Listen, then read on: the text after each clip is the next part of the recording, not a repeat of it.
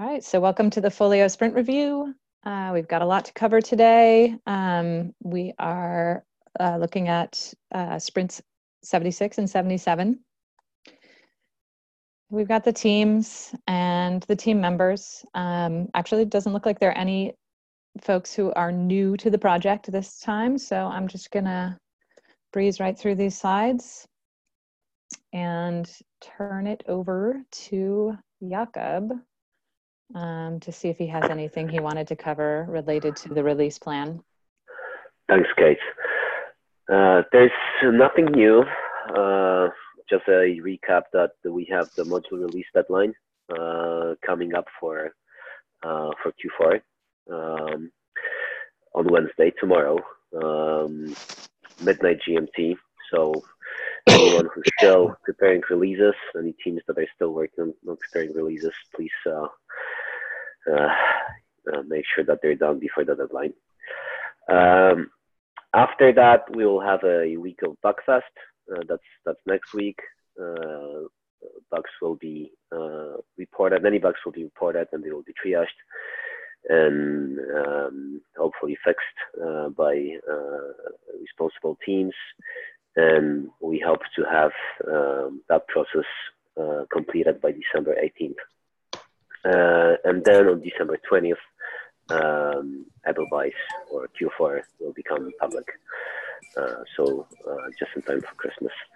Um, could you move? Yeah, thank you. Um, and also, uh, similarly to what we have done for 3.2, uh, Q4 will see some uh, potentially see some hotfix releases those hotfix releases will be uh, will be released uh, throughout Q4, Q1 2020, and up to one month after Q1 is out. so we'll keep on supporting those people, those organizations that are running Q4 um, for at least another quarter. Uh, there's no update to the definition of done, um, so everything remains as it was um, um, uh, already announced on the previous sprint reviews. Uh, I'll just mention that this time around we really hope to see migrations in place for all the schema changes. Uh, those migrations um, have not been thoroughly tested uh, since we did not have a dedicated environment to perform that sort of testing. The platform team is working on building such environment, but it's not going to be in place. Um, not going to be ready for um, uh, uh for uh, for Q4. So um, so please make sure that those um, those migration scripts that, you, that your teams are providing, uh, developers are providing for the schema changes are being tested locally um, because they're essential for a successful migration from 3.2. And that's all I have.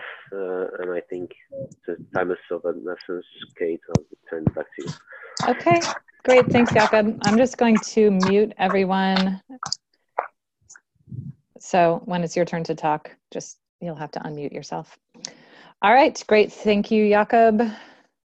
And um, I can move to the next slide. Well, yes. All right. Can I not move to the next? There we go. Okay. So each of the teams has um, documented their sprint highlights. We're not going to go through these instead we'll just jump right into the demos, which I will get to eventually here. Yeah. So we got a bunch of teams um, that need to demo. So um, let's try to keep these to 10 minutes or less, ideally. So let's start with Thunderjet. Alexi. Yep. Hello. Hello. Uh, I'm not sure if Dennis is going to. Uh, no, I'm so go right ahead. cool. So I'm going to. Oh, I have to stop sharing. Uh, okay, let me share my screen. So I hope you can see it. Uh, I'm going to show you changes uh, that we were working on in scope of receiving and checking workflow uh, for orders uh, and uh, integration with inventory, especially item status. So uh, previously we uh, we were setting uh, item status as uh, in process.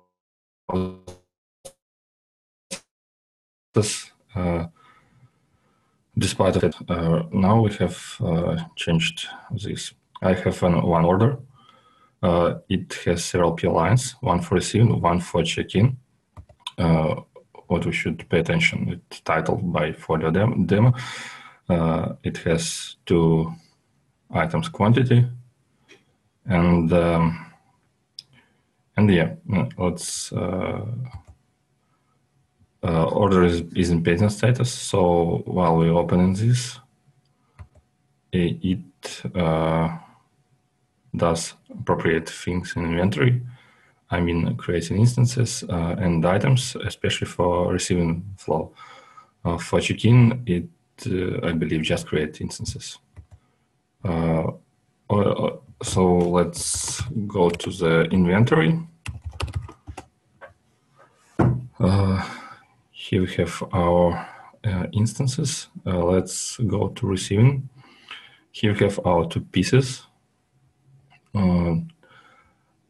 let's uh, go to one of them and uh, add barcode to that. Uh, let's save it. Uh, here we have uh, barcode and we can go to checkout uh, and to get item status checkout. Mm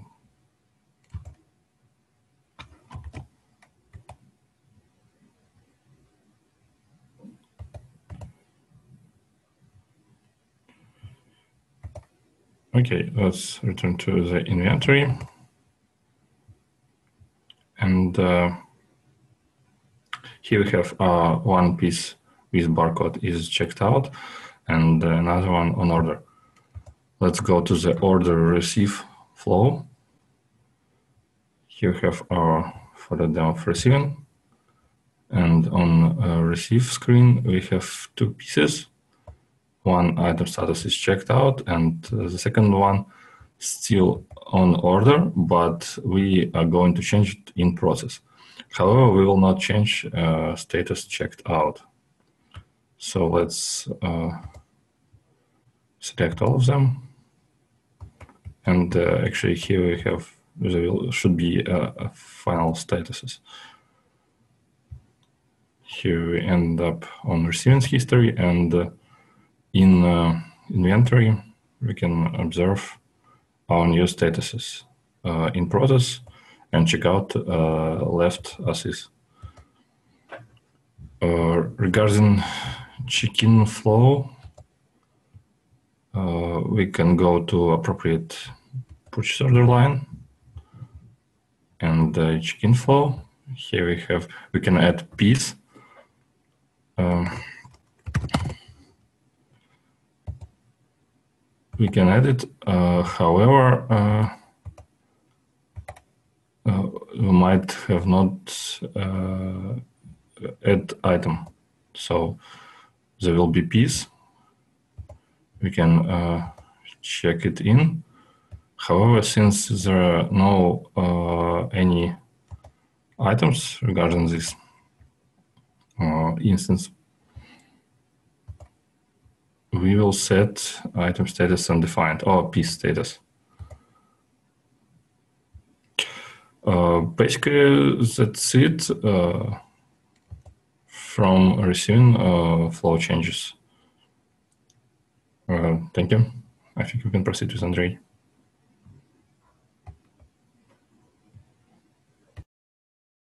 Okay, thank you. Thanks, Alexei. Alexei.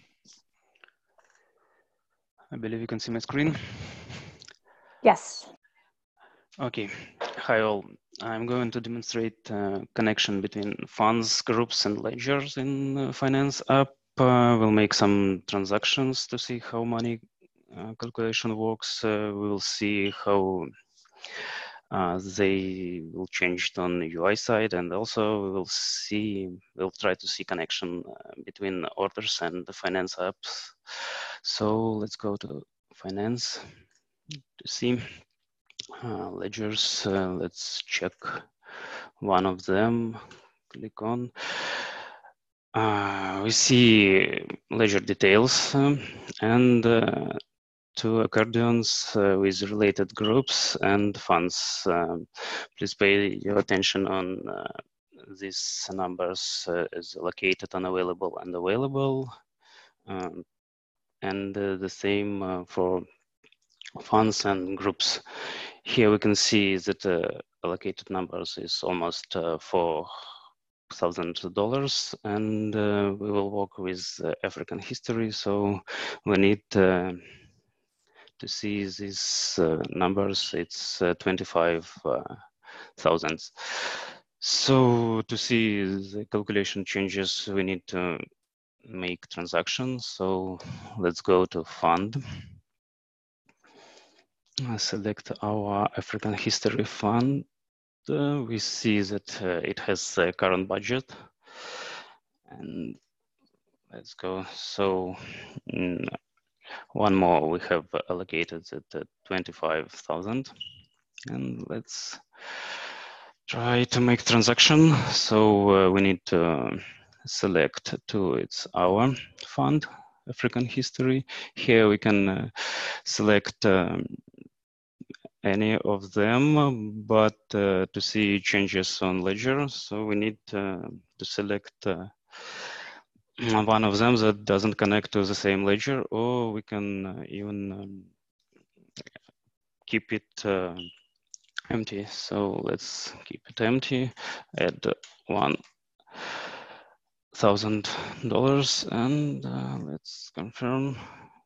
Yes, so we see that the numbers was changed, and uh, you can see on the ledger details numbers we see that uh, there was changes too, and uh, here we can see changes in and even in groups. Uh, we can see the same changes. it was allocated more than one thousand dollars. Um, one uh, magic for today, it's um, connection between uh, finance and orders. Uh, let's go to orders. I prepared order. Let's find it by tag. So it's so useful to use tags.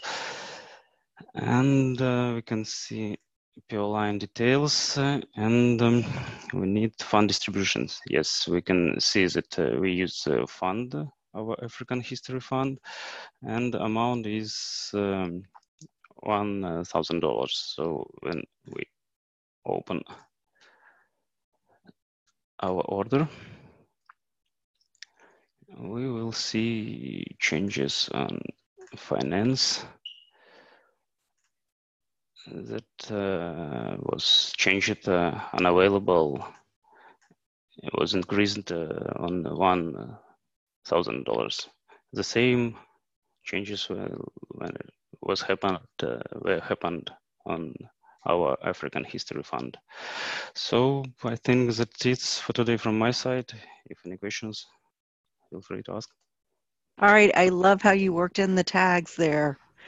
Um, and and it's a great example. Ta tags are pretty much everywhere in the acquisitions apps now and can be incredibly helpful, whether it's just doing a little demo like this where you're trying to um, keep track of records or something more complicated. And um, I think one of the things with with uh, good development is some of this looks kind of easy. It's just a matter of making numbers add up properly. I cannot tell you the amount of work that Dennis and the developers have done to make these numbers add up properly eh, when they're jumping around from all these different states. So it's it's so good to see this all coming together. Um, could I ask again? you didn't take that money from anywhere specific. Did you explain that? Could you explain that to me? So allocations, uh, it's it's always important to remember the money in uh, folio is typically just a reflection of money that is someplace else in real accounts. So initial allocations, the money kind of appears from nowhere, and I'm I'm allocating, you know, twenty thousand or two hundred thousand into this account at the beginning of the fiscal year. We also can do um, transfers of money. So maybe I'm allocating a million dollars into history for the year, but now I'm going to transfer it down into more specific funds to break that million up into different regions of the world or different time periods or different formats or something. So it depends what you're doing. So if you were Yep. doing that, you'd put the from in the bigger history. line. Exactly. Yep. Okay. Yep. There, uh, some libraries have what they call sweep funds, where at the end of the year they gather up all the unused money from their um, unrestricted funds and gather it up into one last pot that maybe ends up with a couple thousand dollars, and then they can spend it all down. All right, looks great. Thank you so Thank you. much. All right, the next team to demo is Spitfire with Yuri.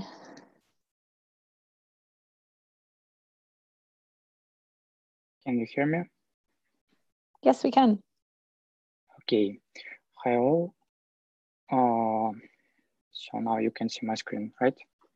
Yeah. Uh, so our team uh, um, uh, improved request preferences flow and uh, improved the support of uh, the items uh, that, uh, that are in a waiting for delivery uh, status. Uh, so uh, let's move on uh, step by step. So uh, here you can see uh, these items with this uh, with this uh, statuses waiting delivery and waiting pickup. So first thing which I want to show you is that um, we disabled disabled possibility to change uh, the fulfillment uh, preference for the items uh, with the statuses. So here you can see that it is disabled and I'm not able to change it. The same thing is with item which is open and waiting for pickup. One second, yeah, this one.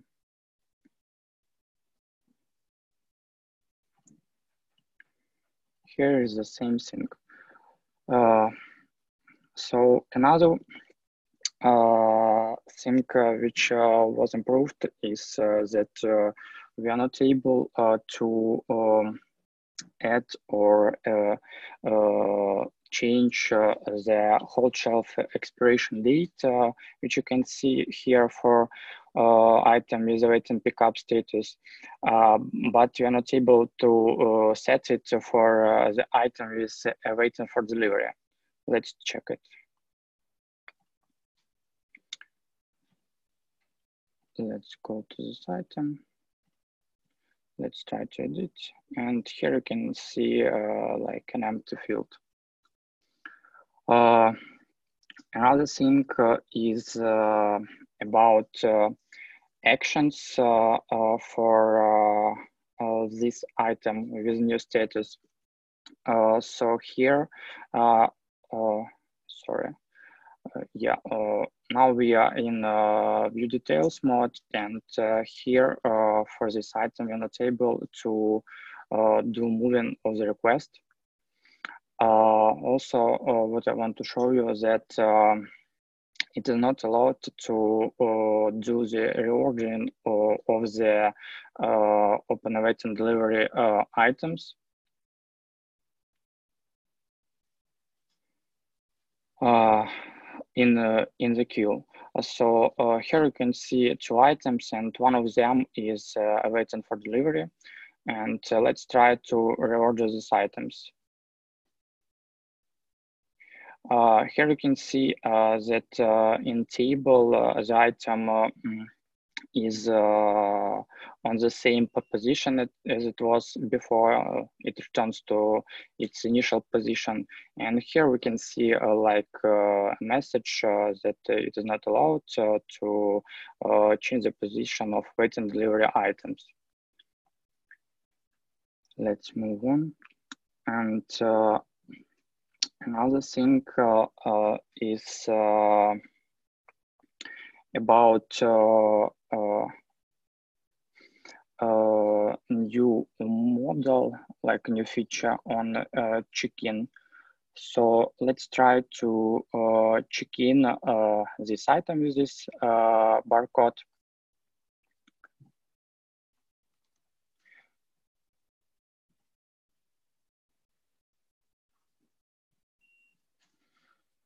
Let's wait a little bit.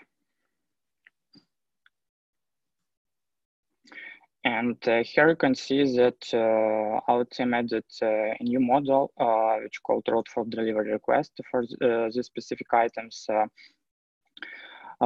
with this information, which is related to the item and possibility doing a checkout when item is first in the queue and has a waiting for delivery status also, uh, like we have here uh, two options. So we can adjust print sleep and, uh, mm, for example, put an item to a specific bin or, or a shelf.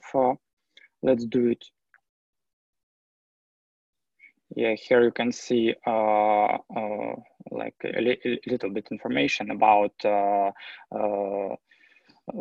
about the user and his location we can do check-in again uh, to check uh, uh, whether we are able to check out it.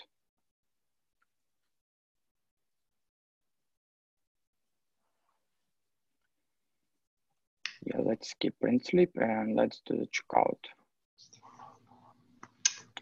Here you can see that uh, uh, we are redirected to checkout application from check-in and uh, here we can uh, see like predefined uh, data uh, with information about borrower. it is the same last name which is so in the staff sleep and information about item. Uh, so yeah, I think uh, that's it. Thank you for attention. Thank you, Yuri. There are so many pieces to this feature. It's really nice to see it coming together. I think we're really almost done. It's great. Yeah. Thank you. Um, okay. So Vega is next with Svetlana. Uh, hello, everyone. I'm starting sharing my screen. Let me know when you see it.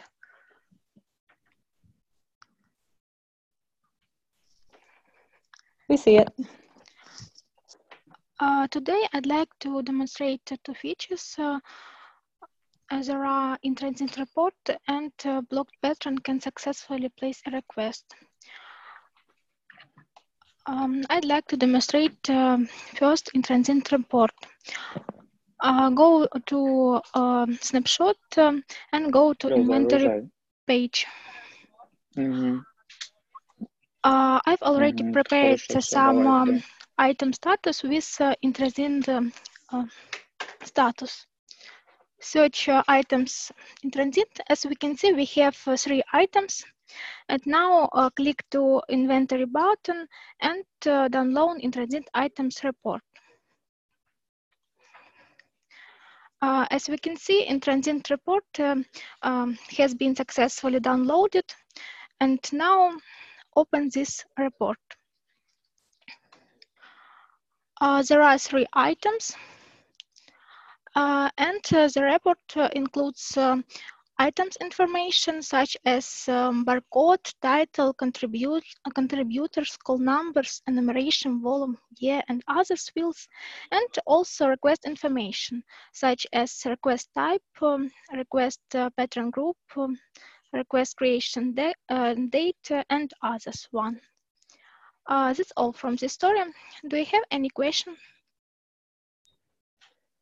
Does it also show um, where it was is coming from and where it's going to?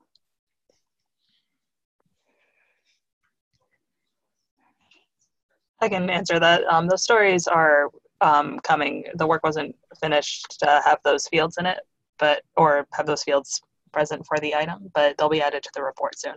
Awesome. Looks good. Mm -hmm. uh, let's move to uh, another story. Uh, it is uh, block patron can successfully place a request. Uh, to demonstrate this story, go to request page. Uh, I've already prepared a blocked user. Uh, click to new request button and try to create um, a new request. Uh, fill item information, uh, fill request information with uh, blocked patron. Uh, as a result, we have a message uh, a patron blocked from requesting. Close the pop-up and click to new request button. Choose.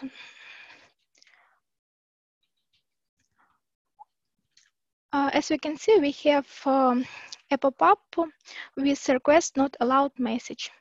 Uh, that's all from the story. Do you have any questions?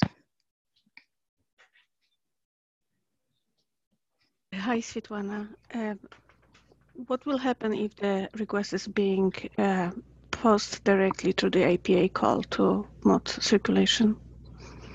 Um, I can um, open network tab and we can um, uh, try to create new request. Um, we have this uh, validation on the backend side, uh, so UI uh, just um, show this message. One second.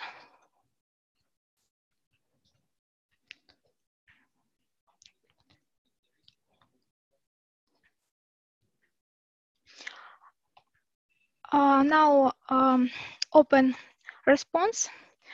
Uh, as we can see, we have message pattern block from requesting. This is um, this message uh, is coming from backend side. So if we directly um, using Postman um, use this um, Great, thank you. Thank you. Uh, uh, this confirms that the rules are applied on the uh, backend. Thank you. Uh, do you have uh, other questions?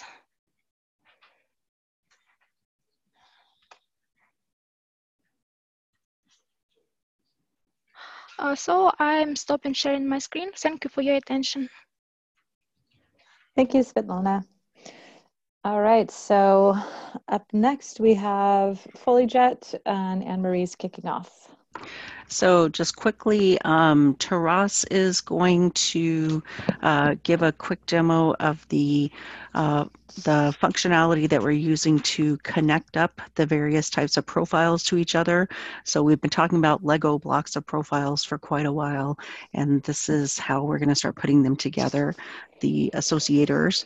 Um, and then Kate is going to show the um, work that has basically consumed all of the backend developers for this quarter, which is getting PubSub up and running. Um, so she's going to show kind of a simplified model of that. Great. All right, Taras, are you ready? Yes. Uh, let me share the screen. Can you see it now? Not yet. At least I can't. Uh, nope. Yes. Okay.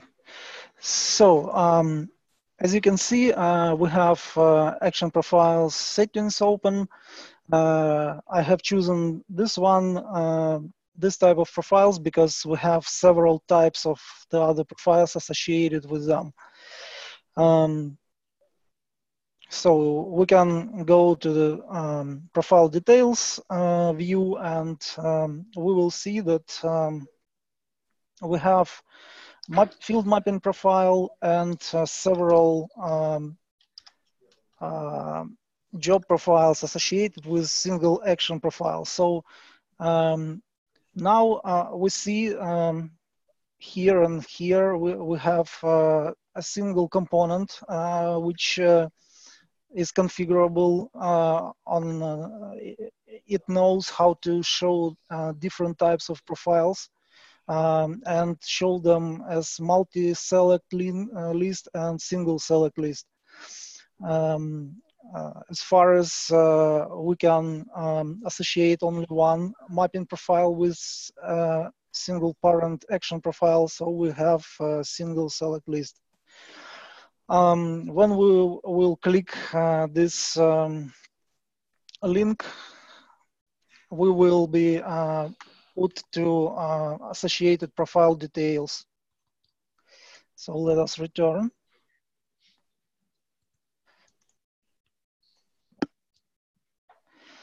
Um, also, uh, we have some options button. It, it is not uh, active for now, but uh, there will be some bulk actions in the future sprints. Um, we can uh, hit edit um, and uh, here we we can see the uh, that same component a profile associator in uh, edit mode uh, so um, as far as we cannot uh, cannot associate more than one mapping profile to a single action profile we have select profile button disabled and on an opposite way, um, we can uh, associate uh, any amount of profiles of uh, uh, job profiles to single action profiles. So we have select profile button enabled. Um, we have unlink button. Um, uh, now we have scroll here, uh, but when the lists will be centralized as card views, uh, scroll will be disappeared and all the form including actions, uh, all the lists including actions will be visible at once. Uh, so um, the second um, component uh, that is participating in this uh, is um, profile, uh, find import profile plugin, which will be released in this release. Um, it is also new. Um, it also can be um, configured as a single select or multi-select list uh, by the props. Um, it can, like the any actually um, plugin, Finder plugin, it can be uh, searched uh, and um, also, you can select one or several profiles and associate them to the list from where you, you were call, calling this uh, plugin. Also, we can uh, remove some profiles uh, or actually not remove, but unlink. So we confirm and we can unlink. We can actually unlink even single profile which is associated here. And we will see the empty list with select profile button is active. So now you can see single select uh, configured list um, and you can uh, select any profile to associate. Um, as far as uh, we have uh, this selected profile already associated with another uh, parent profile, parent action profiles, uh, we have a confirmation that asks us to uh, decide whether we really want to uh, relink uh, this selected profile from the previous parent to, uh, to, the current one. So if we hit cancel, it will be just left alone. and if we will choose relink, it will appear here. So um, uh, actual, actually save the form um, uh, with uh, form save process with all the profiles associated and all the changes uh, is a part of the next uh, backend task because we need a single backend transaction here. So uh, it will be demoed in one of the next sprints. also, I can show you that uh, we have um, we have this profile associator component in any of the other uh, profiles that could be associated. So you can see this. Uh, this is uh, uh again the single component which can uh, can be rendered in uh, editable or static or non-editable mode for details. also, um, this is basically all for presentation part. I just can um, notice that uh, I'm showing this from local machine because uh, we have uh, problems with our old big test bug for timeouts failing. So once it will be tackled down, somehow um, this will be available on hosted environments. So if you have any questions, uh, and uh, another one, uh, that same mechanism uh, will will be um, used uh, to fulfill match profile details uh, part, like all of the Lego that Ann-Marie has mentioned here. Uh, and also uh, we will uh, we will make use of this same mechanism in mapping profiles to fulfill mapping chains. So now that's all. if you have any questions, please ask. Thanks, Taras. That looks great. Guess we're ready to hand off to Kate. Uh, hello, everyone. Just um, it says I cannot start sharing. Taras, have you stopped oh, sharing? Okay, now I can. Ah. So just let me know when you see it. Yes, there we go. Okay, perfect. So uh, I would like to demo the first version of PubSub that will be released tomorrow. Uh, but before I start, uh, I would like to mention that uh, it is not yet available on any hosted environment because uh, Kafka is not configured properly there yet. Uh, but as soon as this issue is resolved, we will make sure that PubSub is also added to the hosted environments. Um, but for now, I will use my local Vagrant environment. And uh, uh, I have here a snapshot backend core Vagrant box where I added um, the PubSub module itself and two sample modules. One of them is registered as publisher and another module is registered as a subscriber in PubSub.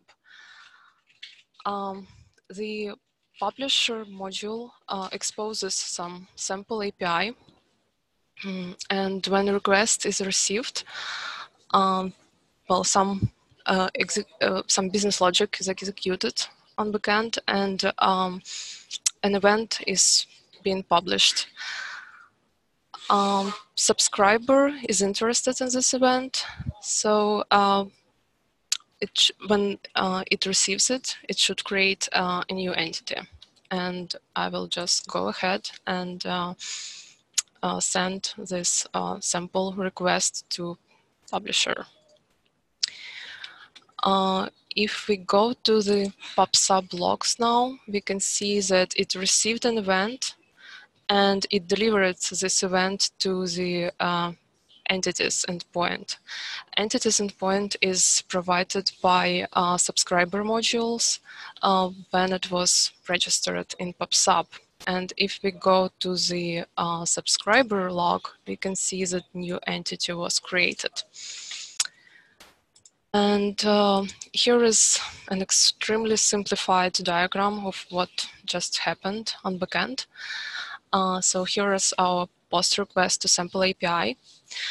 Uh, publisher module has a, a PubSub client dependency and it uses it to publish uh, this event.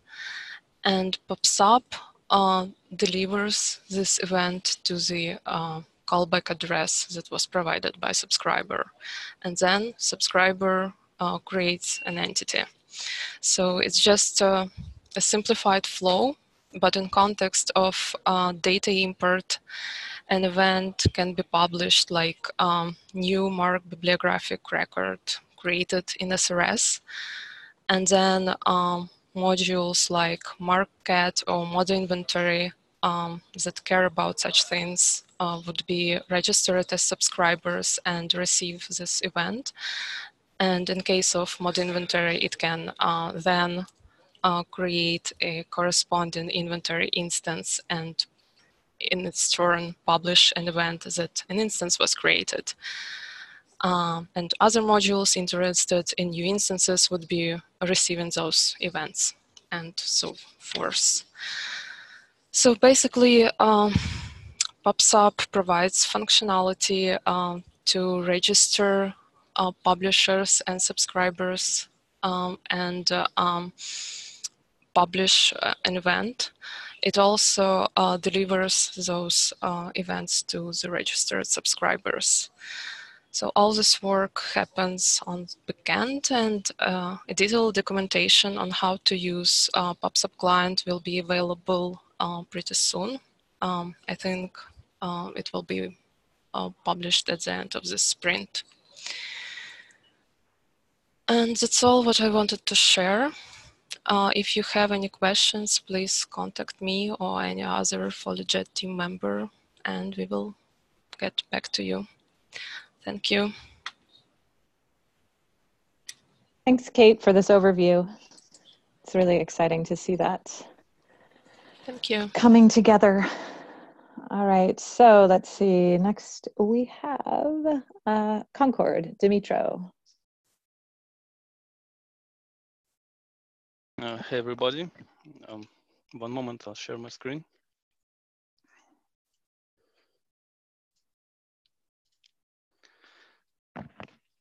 Can you see it? Yes. So today I will be presenting loan uh, anonymization and uh, an item status date feature. So uh, let's jump right in. Uh, so for the for today's demo, I will be using Folio Snapshot Core stable environment because uh, currently there is a bug on the snapshot that prevents me from uh, demoing there. Uh, it, it, should be fixed really soon. Uh, so I have prepared some data beforehand. We have two loans issued to a person and one of the loans has an attached fee, fee fine. Uh, now I'm going to go to settings and loan history settings. Um, there are two groups of um, uh, anonymizing uh, settings. So um, you can sp specify uh, how uh, clo how uh, loans will be anonymized. So either immediately or after an interval or never. And if you want to have an exception for loans with fees and fines, so we, there are exact same settings right here. So uh, as you can see, I said uh, anonymized loans that were closed after one minute and never anonymized lo loans with fees and fines. Now I'm going to uh, close uh, those two loans.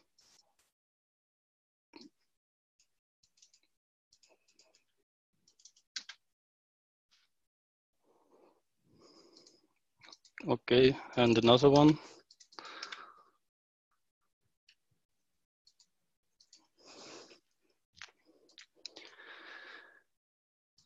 Um, and uh, now they move to uh, users close loans.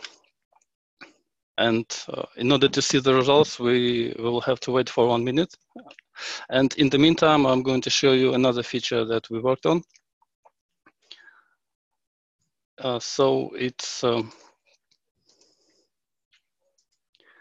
it's a separate field for item status date. I'm going to open an item.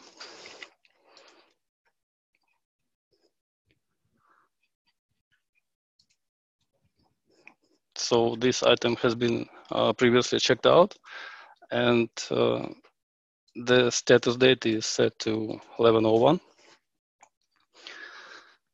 And there's also this um, last updated date that was uh, earlier in the system. So there are two aspects of this feature. Uh, so if I edit an item, uh, just about anything. So uh, as you can see, this last updated date has been um, changed and the item status date has uh, remained the same. Uh, now, if I check this item in,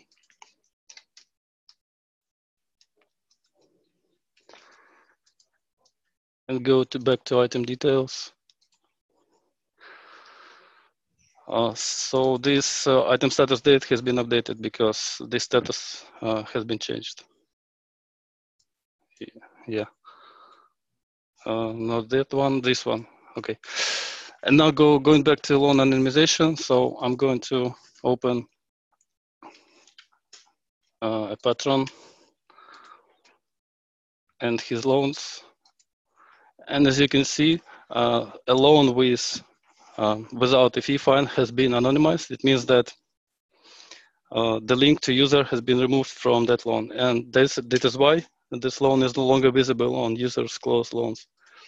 And because we said uh, never anonymize loans with fees and fines, it is here. So this is probably all. If you have any questions, feel free. Thanks, Dimitro. That looks awesome. Uh, looks like Sergi is also going to do a demo for Concord.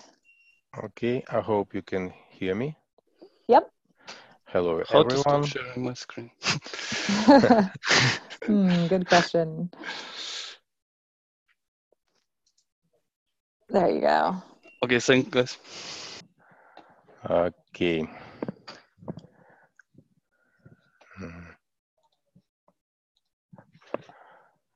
I hope you can see my screen. We can. Uh, great. So, ladies and gentlemen, I want to show you another three features that our team has worked on over the past two sprints. And the first one is in the Concord team's favorite module. It's a circulation rules editor. As you can see, in addition to the overdue fine policy, the lost item policy has been created as well. Uh, lost item fee policies uh, should be populated from the setting circulation lost item fee policies uh, section. I've already created uh, some items in advance and now I'm gonna clean it. When we want to set up the policy for lost items, we can select the appropriate uh, item from the circulation policy menu. And after that, we can select a specific policy name from the drop-down menu. And also, I do want to mention that uh, lost item fee policy type is required. It means if the circulation rule doesn't contain a lost item fee policy,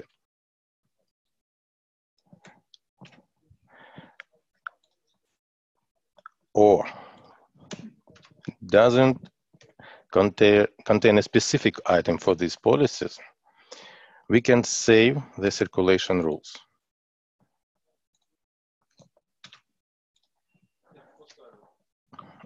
Yeah, after clicking the save button, the error message appears at the bottom. And that's all about the circulations rules editor. And another functionality I wanna show is the display of the process of scanning the item barcode. In checkout application, after selecting the patron and entering the item barcode, I'm going to click the enter button. Uh, during the scanning process, instead of the text, no item have been entered yet, uh, loading ellipses should be displayed. For better visibility, I'm going to emulate the slow connection. Sorry, it's a second.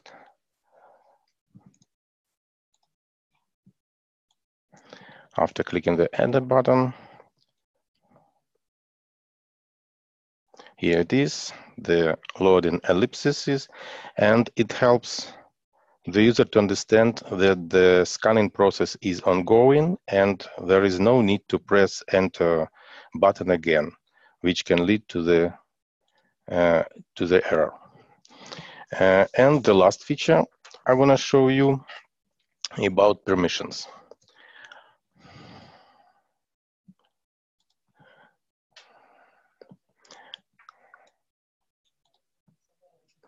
I've already created the user with uh, checkout uh, circulation items permission.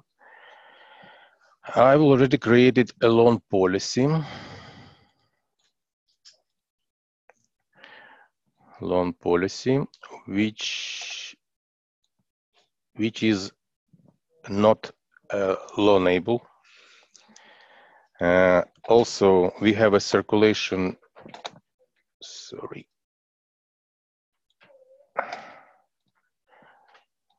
Also, we have a circulation rules in which uh, in which this uh, policy loan uh, not loanable loan policy matches to specific type of material, uh, in this case microform, and we have the inventory item in which there is a material type microform with this rule. In another tab, uh, we have the application with our newly created user. Uh, he is logged in. When the user tried to check out uh, this inventory item,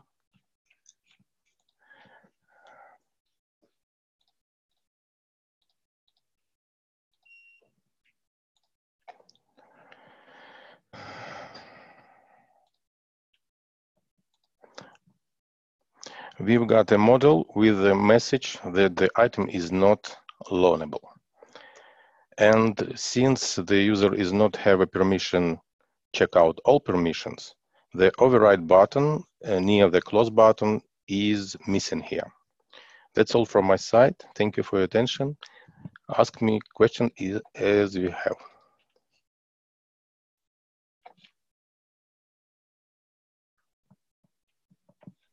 Thanks, Sergi.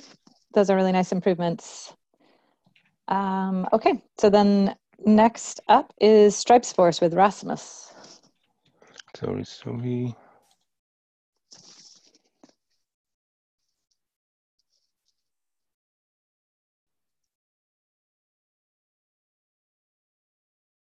Can you find the stop share button? I can't remember where it is. Oh, I can stop it for you. Let me stop it.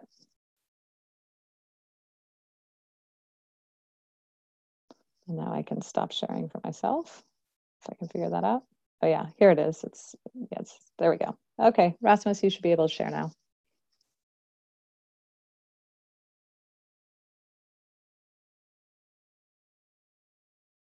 Rasmus, are you on? Oh, yes, sorry, I just had a little little problem. Sorry. No worries.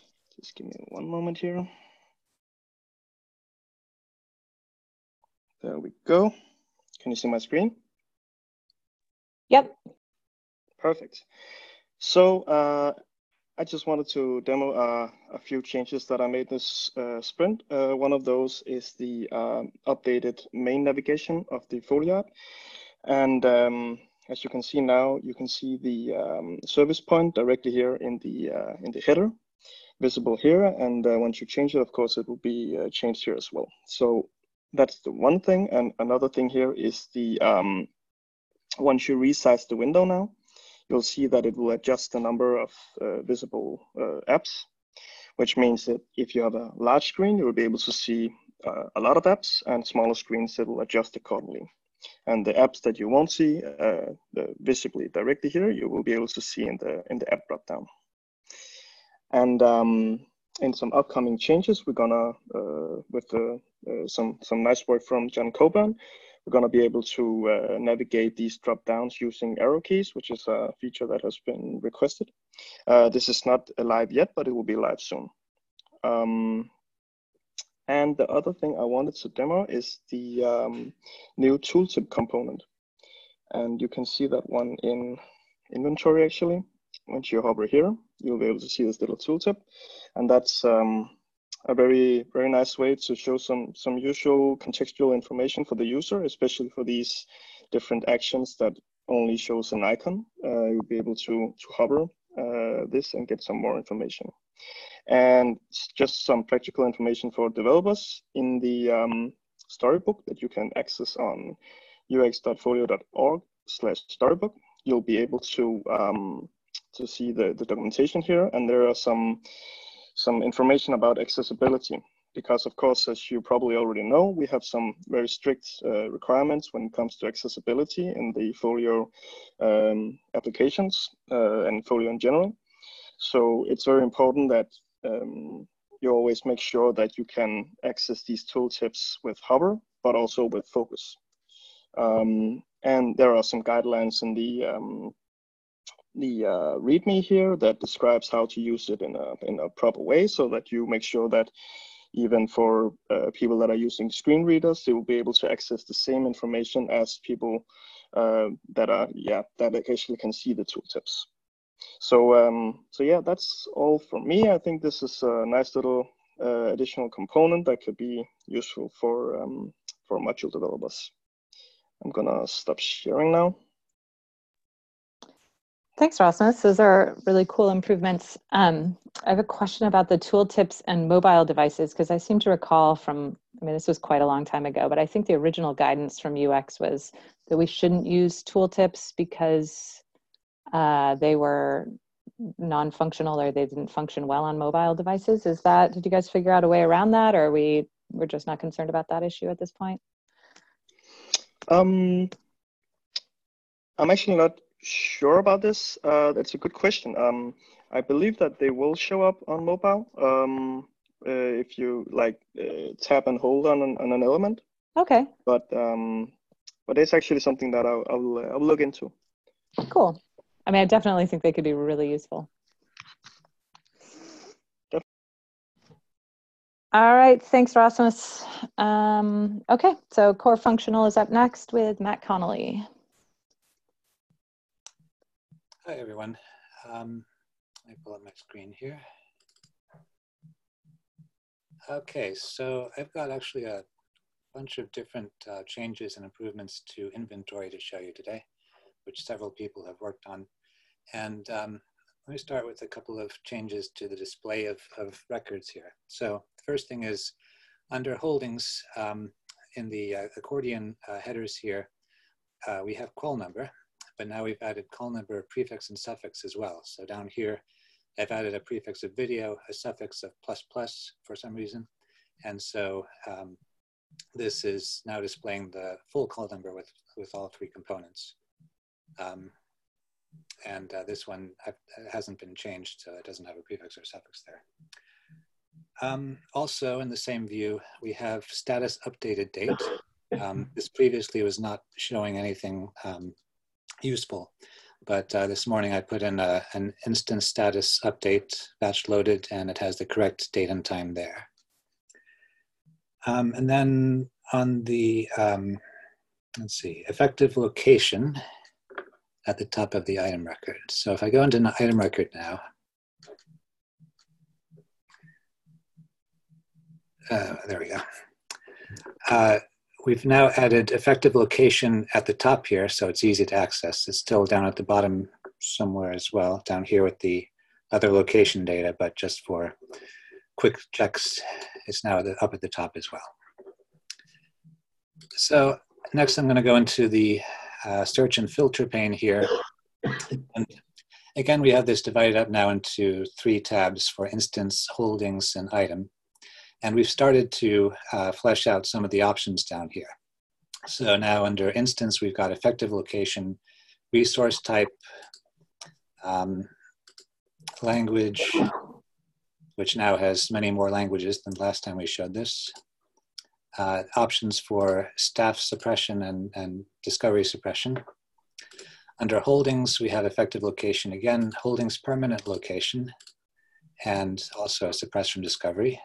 And item has item status, effective location, holdings permanent location, material type, and also suppress from discovery. So uh, depending on which pane you're in, some of these will return um, the same results and some will return different results. So they're all returning instance records, but something like effective location, which is only um, applied to the item record, will return the same thing in all three panes if you search under holdings or instance.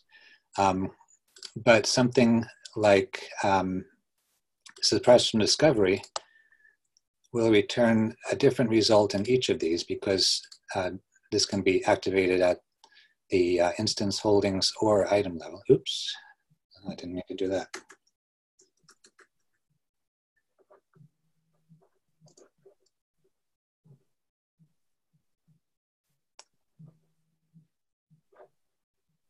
Yeah, sorry about that. And item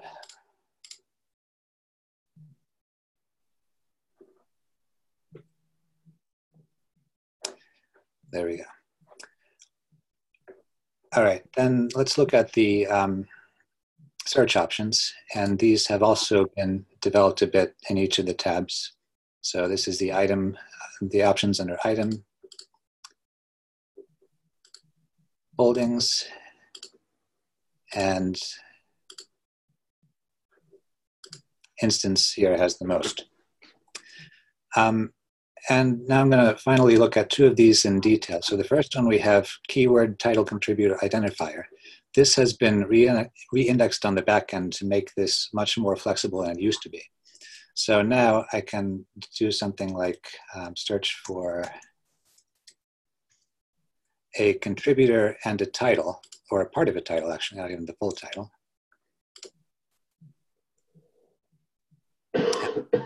appropriate record. And I can also um, put in something like a control number and a contributor. And we also get a result there. Um, actually not sure how to make my view here smaller, which is a, too bad because I wanted to show the results here as well. But we'll go on. Um, and then the final option here is, is the most interesting one probably. So there's now a query search option. Oops, and I should have cleared this out first because that doesn't make, okay. So under query search, you can actually enter a CQL query if you know the, the syntax for that. And um, it's not exactly the same as an SQL query, but it looks kind of similar. So we can start with something simple like subjects.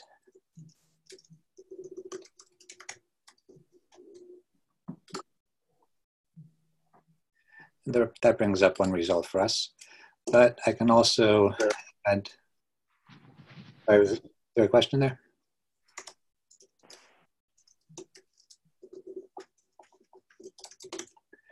I can add an OR search with something completely different, and that brings up both of those. And of course, it's not limited to just subjects. Um, I can also add a contributor with a slightly funny looking syntax here.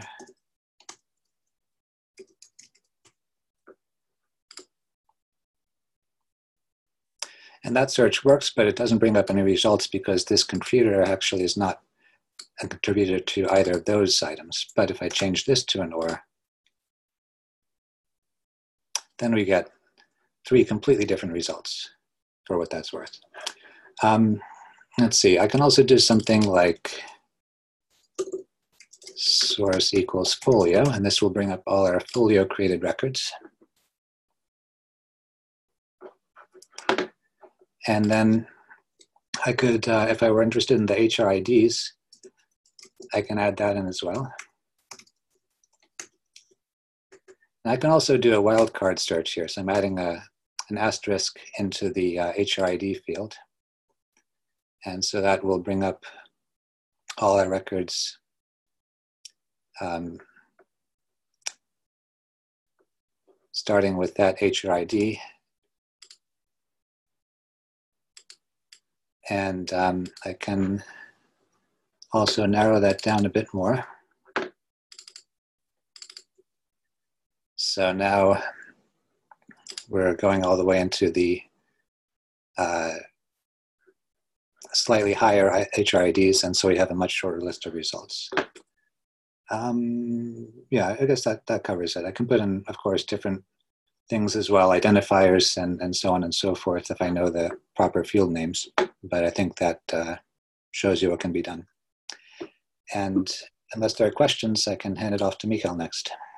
M Matt or maybe Charlotte, is is the query syntax um, documented someplace, or are there plans to document it someplace? Yes, um, all the um, uh, property names because that is what you are using. You are using the property name. Uh, um, they are documented in um, uh, the inventory master spreadsheet, and then we are working on uh, the wiki page where right now there's added uh, different examples, and we will uh, improve that um, list of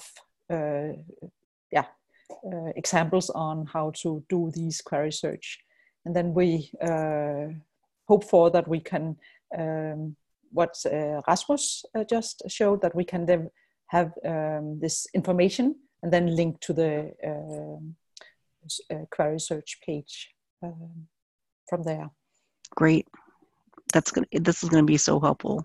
Yeah, and especially because we are uh, for the MVP, we don't have the advanced search, but with the query search, we are able to use the Boolean operators. Mm-hmm. So really nice.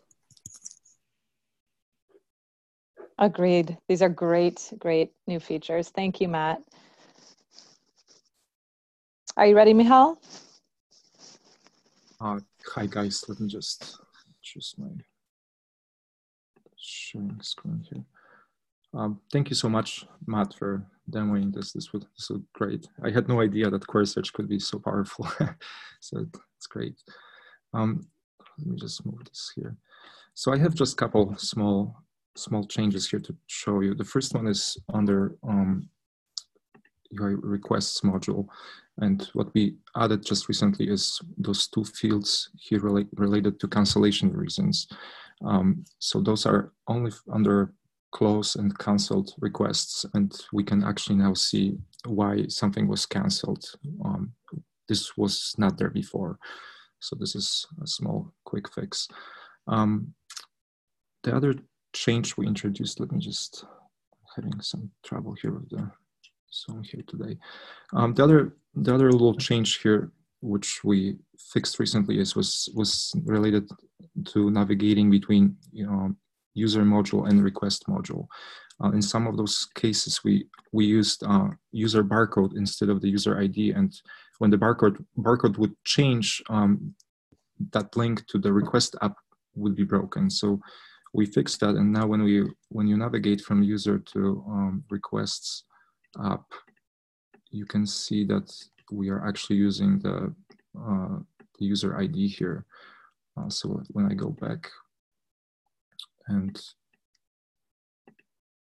I will change the barcode to something. I'm not sure. Something else here. I can still open requests up without any issues. Um, and the last thing I wanted to show you is something which we demoed last time, but it was kind of broken. So it's this reordering queue um, view where you can drag and drop uh, different items um, in the queue to reorder them. Um, as you can see, this this is working correctly now, so we had to make a couple changes to it. Uh, there was there was a question about accessibility um, last time, and I just wanted to add that the accessibility is supported here. You can use the keyboard, um, but I was running into some issues with um, uh, one of the components we are using here. So I may have to talk to John Coburn to just make sure that I'm doing the right thing here. Um, and that will be it for me. Please let me know if you have any questions.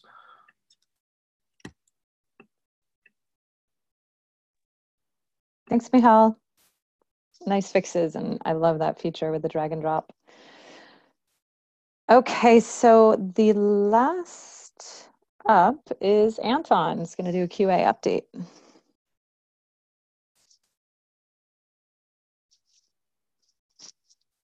Are you on, Anton? Yes, I am just fighting my mute button. One second.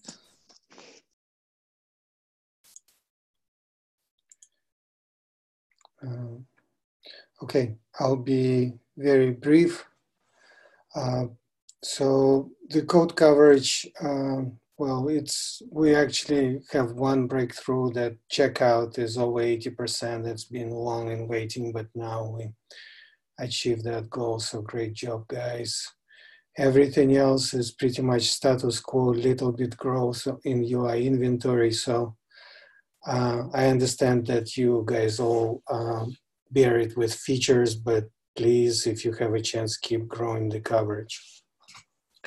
Um, QA updates are um, at the link as, as usual. Um, so off to the next slide. The trend for the bug accumulation continues. Just want you to be aware of that.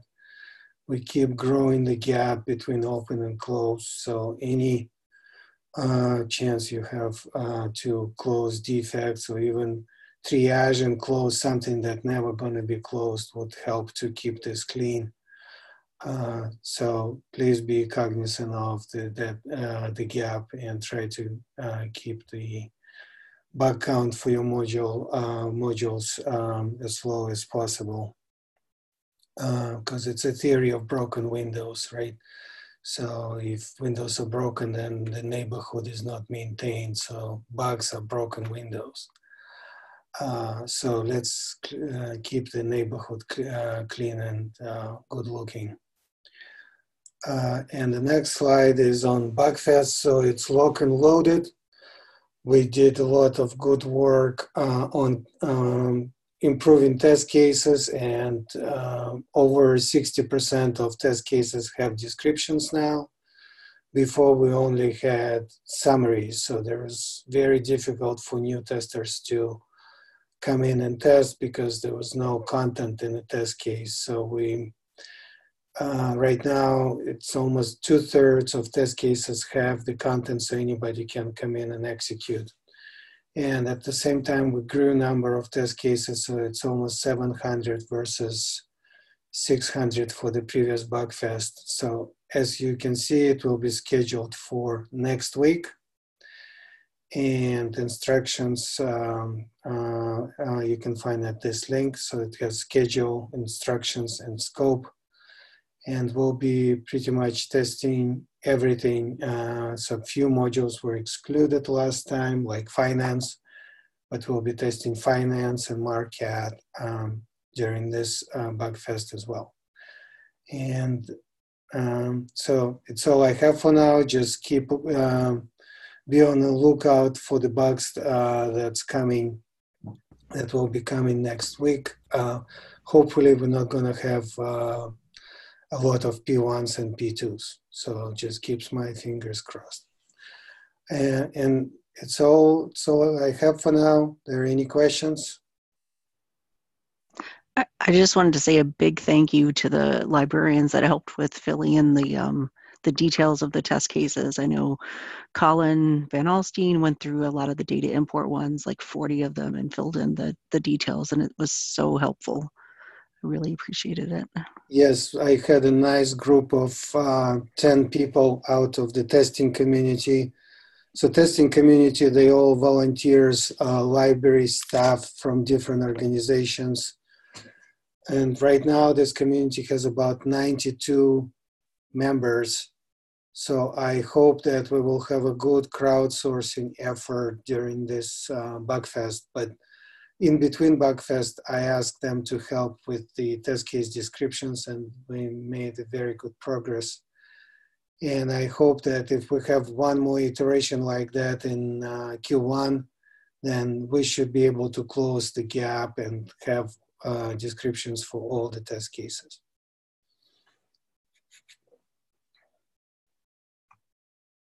That's great. Thank you for the update, Anton.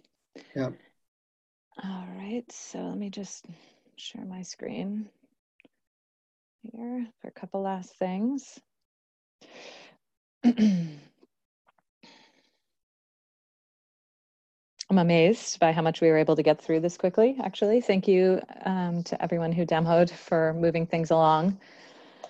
Um, let's see. So just wanted to point out that our uh, upcoming sprints are a little different. So sprint 78 is going to be a two-week sprint per usual. So started yesterday and um, will go until December 13th. But because of the holidays, we've decided to make Sprint 79 a four week sprint. I know it's really long, but um, there are going to be so many people out. It just didn't seem feasible to have, uh, you know, planning meetings, sprint commit meetings sort of in the middle of the holidays. So the goal will be for POs and teams to line up uh, sufficient uh, sprint backlog to keep people going for four weeks um, while POs and others are, are you know, in and out on vacation. Um, and uh, we will reconvene for our next um, sprint review on January 14th, which will be at the end of the four week sprint. And also the um, EPAM developers should be back from the uh, Orthodox Christmas as well by that time. So Kate, yeah, is is Sprint 79 the first of Q1 Q1 2020 or is that it's an interesting question actually. I don't know if we did it this way last time but it falls between actually. Okay. So yeah so while um yeah it well it's so we were not planning on having the q1 development period start until january 14th i believe was the date the start date or, or 13th. Um, I don't know if Mark Veksler is on, but um, we just talked about these dates, uh, and I'm pretty sure that's what he said. So there's a little bit of a, a in between time um, that doesn't really fall into one quarter or next. But any of the work that you're doing after the Q4 release on the 20th is obviously going to be targeted for Q1 anyway. Um, so you know we just need to kind of keep moving along but officially it's it's sort of an in-between period. Okay, thanks. All right, so that's the sprints, and then um, we have uh, the plans for the coming sprints for each of the teams here. And then while I had everyone together, I wanted to also mention one last thing, which is we've um, got a new PO position open um, for a bilingual Chinese English product owner. Um, this would be a PO to join the Folio project, um, work with the community as POs do, and uh, to work with the development team based in Shanghai um, to adapt Folio to the Chinese public library market. Um, so a very sort of specialized um, PO position. This is a paid position, full-time, um, probably for, you know, for a year or two. Um, so if you know anyone who um, can speak Mandarin and um, may be interested in this role, take a look at the product owners page on the wiki. We've got a full job description up there. And if there are any questions, here we go. They can reach out to me. So that's all I had. Is there anything anyone else wanted to mention before we close for today? Um, Kate, are are you planning uh, for the first quarter release an interim release or not? Uh, I'm trying to remember where we landed on that. I think we said no. No. Okay. And, but for Q2, there would be. Okay, so Just Q1. there's- Yeah, there's so much overhead. Um, we decided it didn't make sense for Q1. Okay. Thank you. Any other questions? And so the the stuff that is the the MVP that's not going to get done because I think a, a lot of teams have spillover. Um, is is that going to be uh, kind of clearly spelled out? Well, we've got an MVP dashboard, don't we? In Jira. We do. Um, We- I mean, we don't have to look at it right now. It's just I'm I- I'm imagining that there's going to be libraries that have questions about it. Yes, so um, definitely the we'll be doing the POs will be doing wrap up work at the end of this quarter to um, to take anything any of the features that were targeted for Q4 and didn't even get started and pushing them into Q1, and that's already started to happen to some extent. Um, and then there will also be work done to split the features that were partially completed in Q4. So there'll be there'll be work that needs to carry over and, and new features that will be created for that carryover work. Um, so that's something that we POs need to do in the next couple of weeks. Um, the community is aware already that, that there's going to be spillover work. Um, we did tag the items, the features we thought were at risk um, several weeks ago and um, the community has been you know given the list of at-risk features so they're already starting to review those um, but you're right we'll definitely need to kind of tighten up those lists and and communicate them out what's going to be done and, and what's not going to be done. And we also need to create a plan for q1 so that's something that the capacity planning team is currently working on. Um, we'll take take the, the spillover work um, with input on sort of relative priorities from the POs, and we're gathering information about what developers will be available from the different organizations um, and at what capacity, and uh, we'll have to kind of you know bring that data together and figure out what's what's feasible for Q1 and Q2. So that's in progress as well.